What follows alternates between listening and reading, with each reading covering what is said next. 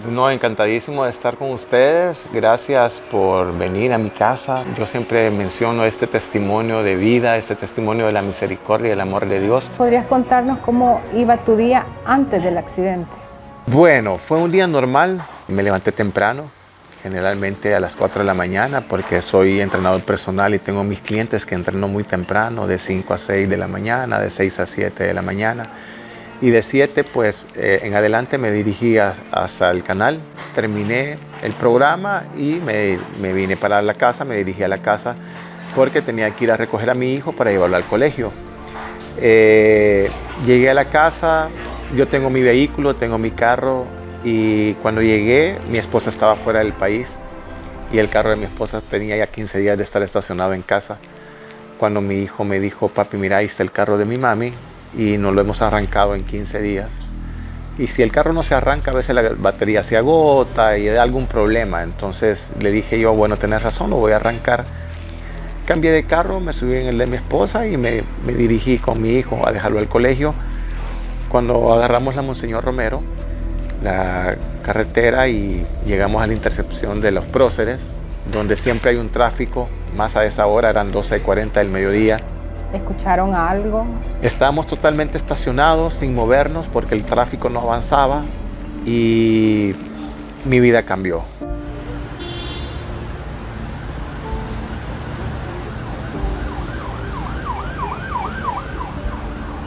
No escuché absolutamente nada, no escuché ningún chillo de llantas, no escuché ningún pito, no escuché ningún grito, nada. Cuando vine a reaccionar, cuando tuve mi primera reacción, eh, medio abrí los ojos, había quedado en una posición como medio sentado, acostado. Y lo que me pareció raro es que vi el cielo.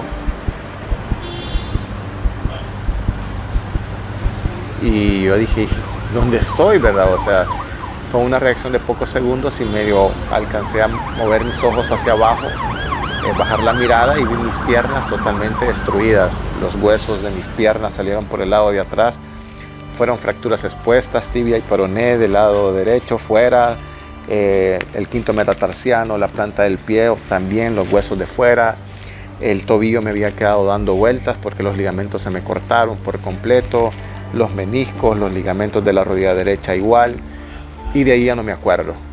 De ahí cuando vine a reaccionar ya era día viernes, el accidente había sido martes, y, pero mi hijo lo, lo pudieron sacar antes. Esto esta segunda parte que estoy contando es lo que me han contado a mí, porque yo ya no, lo, ya no me acuerdo, ya no lo vivía, estaba inconsciente. Y nadie daba fe que estuviéramos vivos. Eh, yo pasé aproximadamente una hora dentro del carro porque no me podían sacar, estaba triturado con los hierros del carro. Llegaban los primeros auxilios, policía, bomberos, protección civil, pero hasta que llevaron las máquinas hidráulicas para poder cortar el carro, me pudieron sacar. Entonces eh, me dio rhabdomiólisis, que rhabdomiólisis es cuando se te destruyen los músculos del cuerpo, cuando hay un trauma severo como el que yo tuve por el accidente. Y se me destruyeron todos los músculos del cuerpo, las proteínas se me fueron directamente a los riñones y estuve luchando por no quedar con insuficiencia renal. Y, la verdad que todo esto ha sido un milagro, un milagro de Dios, de la misericordia. Muchas personas me preguntan, Billy, ¿y, estuviste en coma, estuviste inconsciente, estuviste dormido? ¿Qué pasó? Y yo le digo a las personas que yo, tuve cuatro días de estar conversando con Dios. Yo, yo digo que estuve como una negociación con Él. Muchas personas me dicen, no, pero con Dios no se puede negociar. Claro que sí. Dios es un amigo nuestro, donde yo bien me acuerdo que le pedí a Dios que me diera una oportunidad más de vivir, porque tenía cosas pendientes aún. Y las cosas pendientes que tenía no era trabajar más para tener más dinero y comprarme un carro más lujoso o unos zapatos más caros, sino que era eh, lo pendiente, un abrazo a mi hijo, un beso a mi esposa, compartir más tiempo con ellos, porque así nos pasa la mayoría. Trabajamos demasiado y nos afanamos con el trabajo para tener más dinero y darle lo mejor a nuestros hijos económicamente o materialmente. Y para hacer eso necesitamos más tiempo que perdemos, que perdemos, que no compartimos con ellos. Que generalmente, bueno, mis hijos tenían un intramuros en su colegio papi no podía ir porque estaba trabajando. Mi hija tenía algún compromiso en la universidad, pues papi no podía ir porque estaba trabajando. Porque yo me había afanado, quizás como muchos, en trabajar más para tener más dinero y darle lo mejor a ellos económicamente, pero lo que necesitan ellos es más tiempo, más, más, más cariño, sincero, puro. Entonces yo eso le pedí a Dios, que tenía esas cosas pendientes, que por favor me diera otra oportunidad de vida. Y bien recuerdo que Dios me dijo, te he dado 46 años para que lo puedas hacer, porque yo tengo 46 años. Pero no lo has hecho por tu soberbia, por tu orgullo, por tu vanidad, por tus distracciones mundanas, por tantas cosas. Y ahora me estás pidiendo una oportunidad para poder hacer lo que pudiste hacer en 46 años. Y tienes razón. Entonces, eh, gracias a Dios, pues aquí estoy.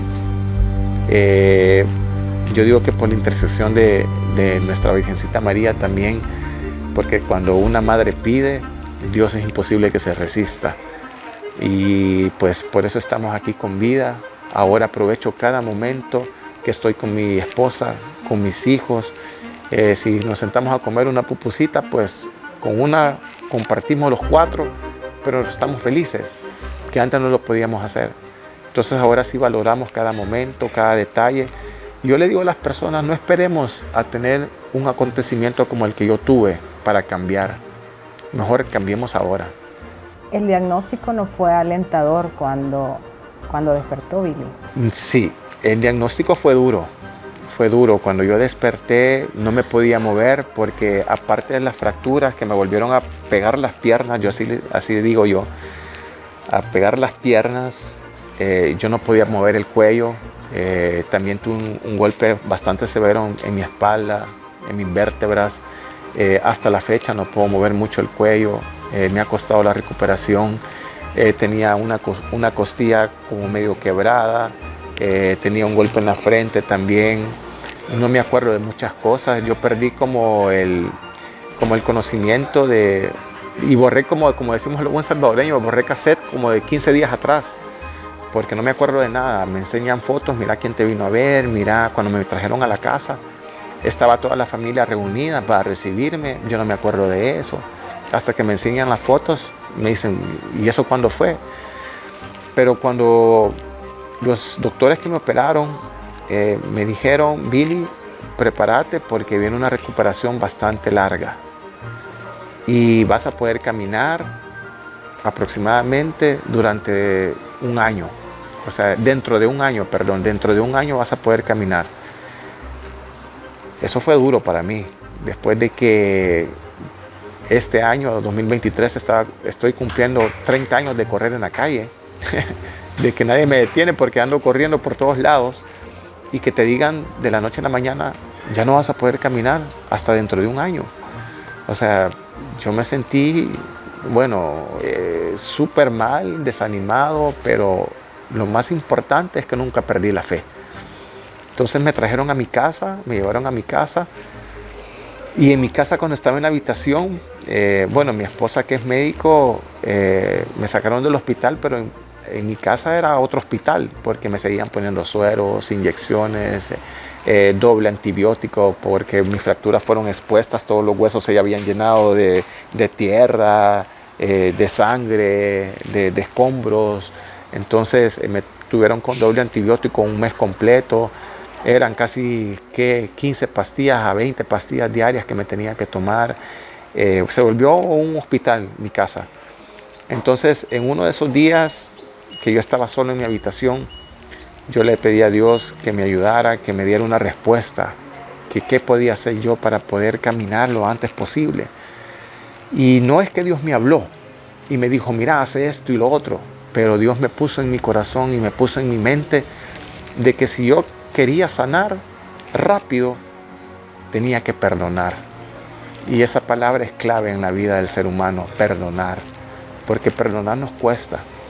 Pedir perdón como yo digo, de valientes, porque nuestro orgullo, nuestra soberbia no lo permite. Entonces, cuando yo liberé mi corazón de todo odio, yo empecé a recuperarme físicamente y de todo. Porque muchos me preguntan, ¿qué opinas de don Carlos, que es el motorista de la rastra? Y yo con don Carlos, yo no tengo ningún odio, ningún rencor. Yo oro todos los días por él, por su familia, porque un accidente lo puede pasar a cualquiera. Y desde que yo supe eso, que Dios puso en mi mente y en mi corazón y lo comencé a hacer, mi evolución para la sanación que he tenido ha sido impresionante. Lo, lo, que me dijeron que lo podía hacer en un año, yo lo he logrado en tres meses. Pero, pero es porque he sanado. He pedido perdón.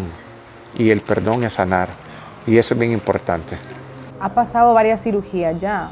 ¿Falta alguna otra? O... Sí, ahorita eh, falta, eh, me han dicho de que probablemente los ligamentos y los meniscos de la rodilla derecha todavía no los tengo bien. Eh, me dicen de que tengo que, que operarme pero también como yo tengo un clavo intramodular desde aquí, desde la rodilla hasta el tobillo, está sujetado por dos tornillos acá y dos acá. Entonces el clavo también está un poco complicado en la posición que lo tengo para volver a operar la rodilla, porque me pueden debilitar lo que ya me hicieron. Entonces están evaluando eh, que si, me, si es conveniente volverme a operar o quedarme así, ¿verdad? Ahorita lo que me han dicho es que lo, lo trabajé con, con, terapia para fortalecer un poco más los músculos y tal vez con eso pues yo pueda seguir mi vida, quizás no normal como antes hacía de correr 40, 30 kilómetros, pero por lo menos yo, yo le digo a los doctores, con, con, tal que pueda correr 5 kilómetros, ya para mí es una gran bendición. Así que estamos luchando con las terapias y poniendo de nuestra parte para poderlo lograr. ¿Usted cree que ese accidente pasó para algo, Billy, en su vida? Sí, totalmente. Qué bonita pregunta la que me haces, eh, Carolina, porque sí, la verdad que las cosas pasan por algo. La verdad que, como yo lo mencioné, a veces somos esclavos del trabajo, somos esclavos de muchas cosas. Eh, y yo era esclavo del trabajo, yo era esclavo del deporte, del ejercicio. Y por ser esclavos perdí mucho tiempo con mis hijos, con mi familia, momentos que ya no se vuelven a recuperar. Y a raíz este, de este accidente, pues todo cambió. Ahora ya no es necesario que yo busque a mis hijos, ellos me buscan y me abrazan. Cuando yo estoy dormido me van a dar un beso en la frente, me dicen, papi, te amo. O sea, Dios hace las cosas no por gusto.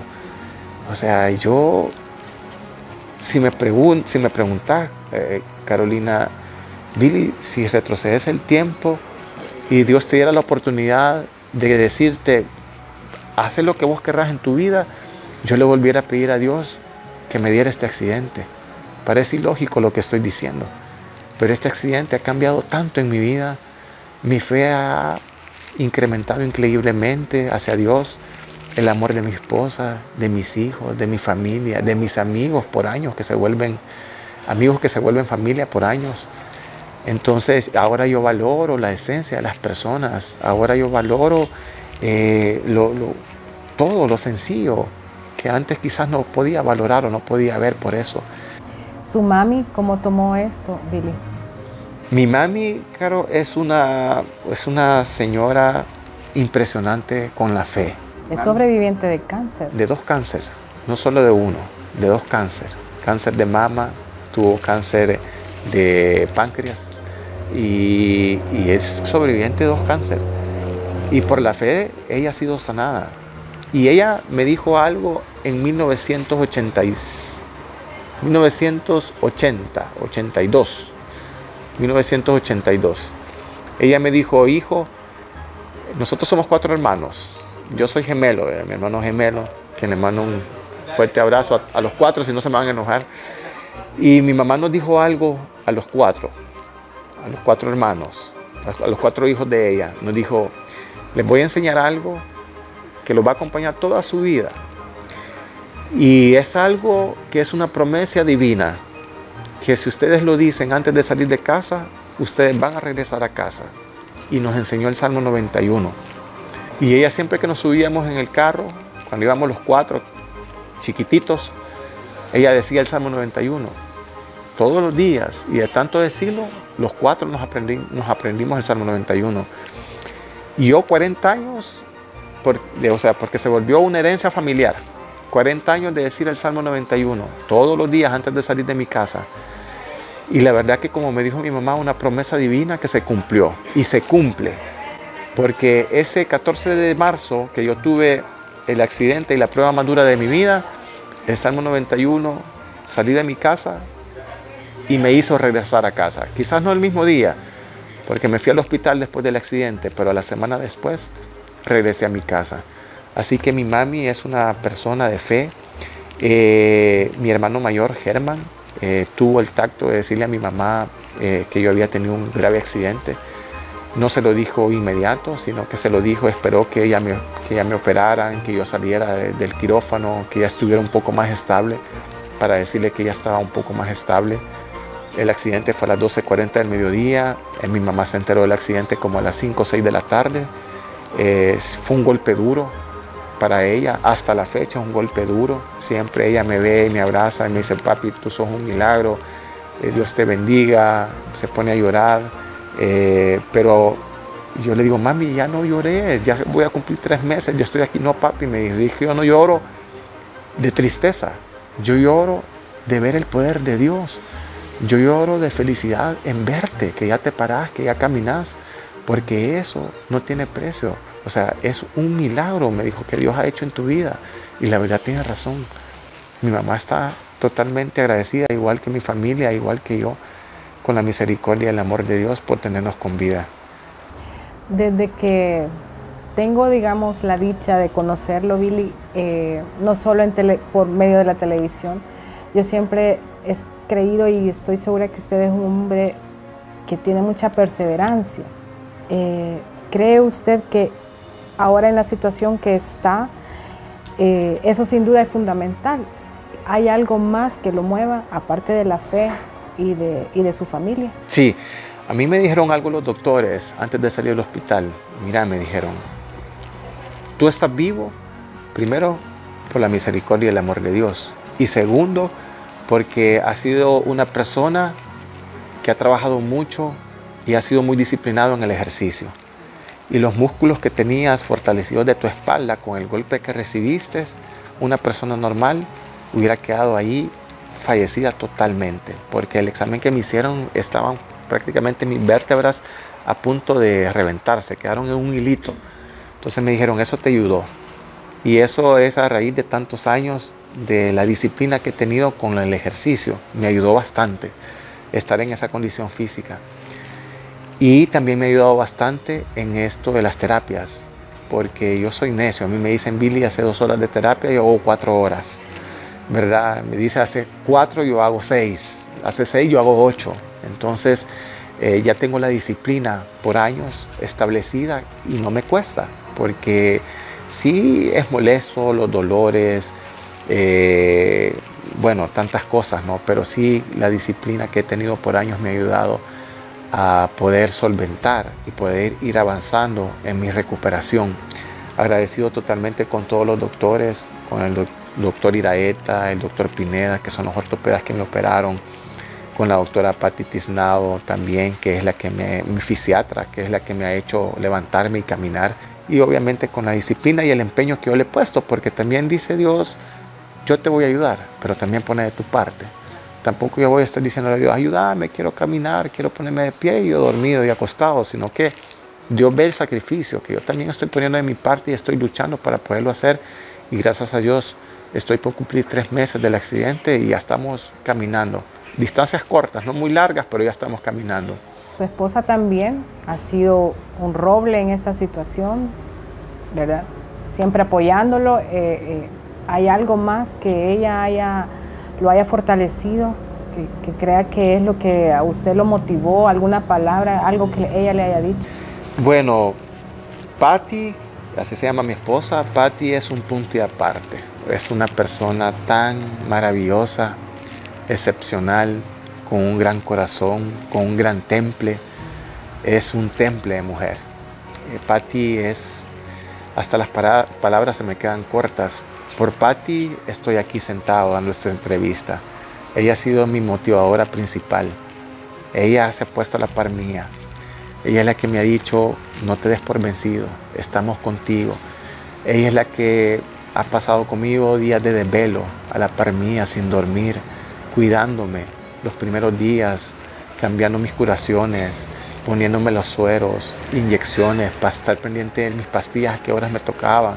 Y Patty, yo siento de, no siento, sino que estoy seguro que si Patty no estuviera a mi lado, yo fuera un hombre derrotado, amargado, juzgando a Dios que por qué yo y no otra persona, que por qué mis piernas, que era lo que más ocupaba yo para correr. Pero Patti me ha enseñado la humildad, me ha enseñado a, doblegar mi orgullo, mi soberbia y, y a entender que tenemos un Dios vivo. Realmente el que usted esté aquí, que haya llegado hasta ahora aquí, que estemos en esta entrevista es un milagro, porque al ver cómo quedó el carro, que le dieron pérdida total, cualquiera podría pensar, o sea, cualquiera hubiera pasado, estaría quizá en otra, en otra situación más complicada o quizá fallecido. Así es, totalmente. Cuando llegaron eh, los auxilios el día del accidente y fuimos 32 vehículos y de los 32 vehículos, eh, uno, bueno, el mío fue uno de los más afectados, que fue pérdida total, como mencionaste. Eh, no había algo que rescatar del carro, todo estaba deshecho, destruido, hasta el último tornillo y la última tuerca. Para los ojos humanos eh, nosotros estábamos muertos y en un momento me dieron por muerto, pero Dios tiene la última palabra. Y, la verdad que, que yo no le puedo llamar más, yo no le puedo llamar, ah, cuestión de suerte.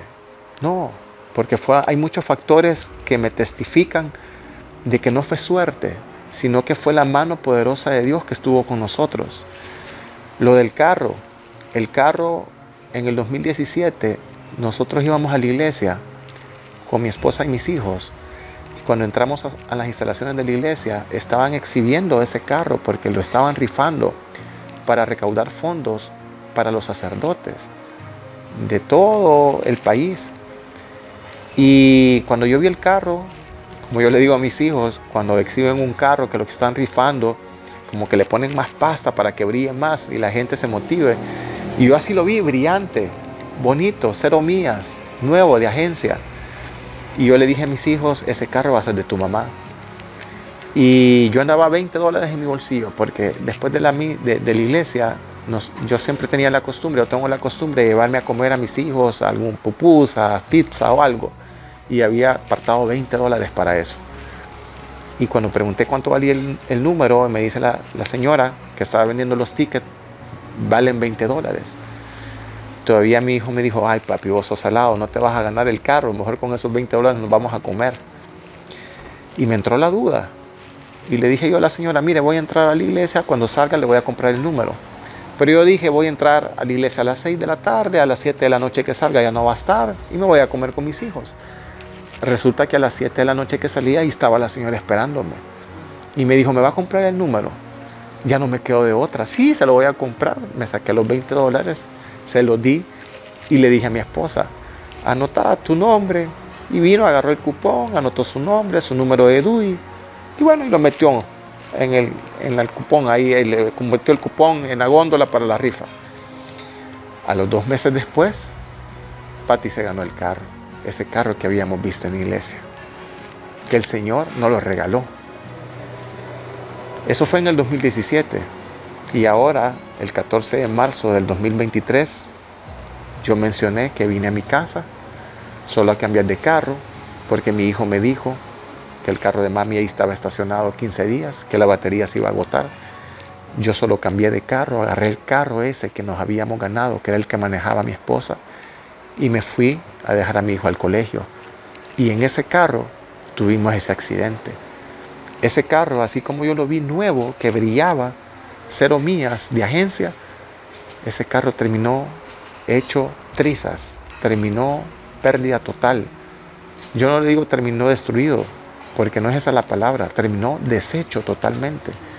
Y así como yo lo vi nuevo, así lo vimos deshecho. Dios me lo regaló, Dios me lo quitó. Pero yo siempre digo de que ese carro, Dios sabía que tenía una misión que era salvarnos la vida. Y la misión la cumplió, porque estamos con vida con mi hijo. Ya no tenemos el carro. Así me lo regaló, así me lo quitó. Pero ¿qué más quiero? Estar agradecido con Dios que me salvó la vida. El carro, el Salmo 91, el rosario. O sea, ¿qué más prueba tenemos de eso? Otra prueba, si quieren más pruebas, les puedo seguir sacando prueba de que es una bendición de la misericordia y el amor de Dios que estemos vivos, que es un milagro. Y esto no nadie se lo ha contado, te lo cuento a ti, carito, como exclusiva, porque nadie lo sabe. Un día antes del accidente, nosotros tenemos un buen amigo en común con mi hermano gemelo, con José, que se llama Víctor. De cariño le decimos Vitocho. Un día antes del accidente, él le habló a mi hermano por teléfono, asustado, y todavía le dijo a mi hermano, Vitocho, ¿qué te pasa? Mira, ¿cómo está tu hermano? Bien, ¿por qué? Es que acabo de tener un sueño con tu hermano. O sea, soñé con tu hermano, con Billy. ¿Y desde cuándo estás soñando con Billy? Vole? No, estoy hablando en serio. Le. ¿Y qué soñaste? Le dijo mi hermano. Soñé que él estaba atrapado en un carro y que no podía salir. Y que el carro estaba agarrando fuego. Y que él estaba dentro del carro. No, hombre, vos estás loco, le dijo mi hermano. Si mi hermano, yo acabo de hablar con él, eso fue una semana antes del accidente, yo acabo de hablar con él y, está bien, no, tiene nada. Bueno, gracias a Dios. Pero no sé, pero soñé eso, y imagínate. Y yo tenía a Víctor, a Victocho, años de no verlo. El que lo ve más seguido es mi hermano, porque es más amigo de mi hermano que mío. Y a la semana yo estuve atrapado en un carro sin poder salir debatiéndome entre la vida y la muerte. O sea, ¿qué más señales? ¿Qué más señales de estas cuatro que he mencionado, que son señales poderosas de dar fe de que por misericordia y amor de Dios estamos vivos? Billy, ¿hay algo que cambiaría usted antes del Billy de antes del accidente? Sí, hay muchas. Bueno, antes del accidente eh, son cosas que ya después del accidente he cambiado. Porque ahora, como te, como te digo, eh, estoy valorando más cada momento. Eh, ya no me afano por las cosas. Antes me afanaba que quería esto y, y luchaba por tenerlo. Y ahora no. Ahora todos los días respirar, caminar, estar con vida, poder ver, escuchar, es una gran bendición. Lo material igual a la vida, se acaba en un abrir y cerrar de ojos. No se acaba en un segundo, se acaba en una milésima de segundo. Así se iba a acabar mi vida. A mí me preguntan si escuchaste algo el día del accidente, algún pito, algún chillo de llantas, algún grito, algún aviso. No, no escuché nada. La vida sí se te va. Cuando yo vine a reaccionar ya no estaba en este mundo, ya estaba rogándole a Dios que me dejara vivir más. Si me preguntan, Billy, ¿la muerte se duele? No, no duele. No te preocupes, no se preocupen, la, la, muerte no, no te va a doler. No vas a sentir nada. Te desconectas y ya estuvo, se acabó. Hasta ahí llegaste. Entonces, sí, como yo digo, Billy Calderón no puede ser el mismo Billy Calderón de antes del 14 de marzo del 2023. Ya no se puede, es imposible. Con solo estar con vida dando esta entrevista, Carolina, es una bendición del amor y la misericordia de Dios. Así que yo todos los días le pido y le doy gracias a Dios, más que pedirle, le doy gracias a Dios y también eh, un mensaje para todas las personas, porque a veces vemos a nuestros amigos, a personas conocidos, no conocidos, pero no sabemos qué problemas andan cargando. Hay problemas económicos, hay problemas familiares, hay problemas laborales, hay problemas de salud, hay problemas de todo tipo. Y no sabemos la angustia que anda en su corazón, en su mente, en su alma, en su cuerpo. Y por eso quizás no nos entendemos muchas veces y decimos, ay, ya sabes por qué anda enojado, ay, ya sabes por qué anda triste, ay, ya sabes por qué no me hace ni caso. Pero no sabemos el problema. Entonces, eh, busquemos ayuda. Yo creo que la ayuda más idónea es Dios. Pero hay que tener fe Dicen que la fe mueve montañas y es cierto. Si tú, lo, si tú proclamas a Dios y haces con fe y pides perdón con fe y de veras, perdón que, te salga de tu corazón. No, mira, discúlpame por aquello que te hice y hasta. No, un perdón que, Dios vea de que de veras dejaste tu orgullo, tu soberbia a un lado y lo hiciste. Eso sana. Y, no perdamos eh, la fe, el amor de Dios es inmenso como yo digo, pudiste haber sido la persona más mala de esta tierra, pero si en el último segundo, en tu agonía, donde estás ya a punto de fallecer, tú te arrepientes de corazón, Dios te va a perdonar. Así que tenemos esa oportunidad para hacerlo. Bueno amigos de la prensa gráfica, hemos conocido y hablado un poco más sobre la situación de Billy. Eh, vemos que eso no es cuestión quizá de religiones específicas, sino cuestión de fe, de espiritualidad, de cercanía y de creer que hay algo más que nosotros. Eh, y así nos despedimos, solo deseándote una pronta recuperación y queriendo saber si le puedes decir algunas palabras. Sí, no, gracias. Eh, primero agradecerte por la entrevista, gracias por este espacio. Eh, yo ahorita estoy aprovechando todo espacio que me den en los medios de comunicación para decir que tenemos un Dios vivo, que confiemos en Él, que no perdamos esa fe por mayor o por tan grave que tengas el problema en este momento. No desistas, no desistas, hay que seguir luchando, hay que seguir eh, perdonando y hay que seguir viviendo con alegría y con amor, con ayudar al más necesitado, teniendo esa, esa sintonía con, con la persona más cercana, con personas conocidas, no conocidas, con nuestra familia. Y, y, nada, agradecerte, Carito, por esta entrevista, por este espacio y agradecerle a Dios, a mi esposa, a mis hijos, a mi madre, a mis hermanos, a mi familia entera, que no me han dejado solo.